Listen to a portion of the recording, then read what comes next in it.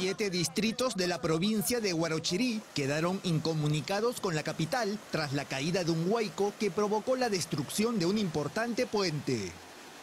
El caudal del río Santa Eulalia se vio afectado durante la noche del último sábado cuando una fuerte lluvia provocó el deslizamiento de rocas y barro, derrumbando el puente verde de la zona norte de Huarochirí. Ya, se lo lleva, se lo lleva. Se colapsó el puente.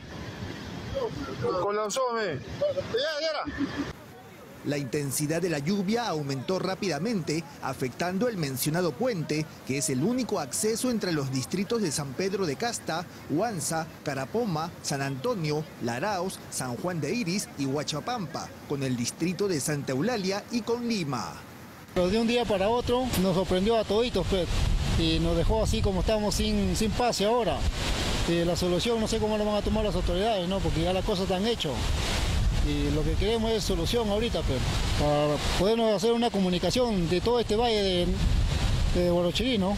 Durante la mañana del domingo, equipos de rescate llegaron a la zona para ayudar a decenas de viajeros y residentes de este lugar, quienes necesitaban cruzar el río y llegar a sus destinos.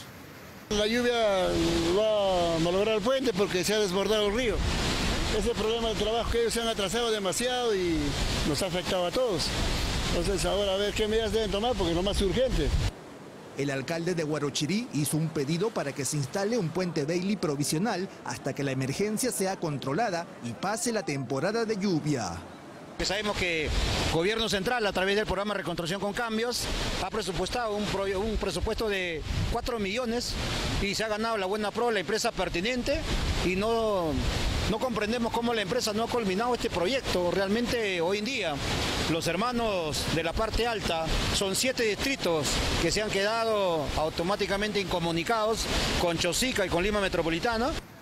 Según los vecinos afectados, el puente colapsado debía ser inaugurado el pasado mes de diciembre, pero retrasos y paralizaciones de la obra ha provocado demoras.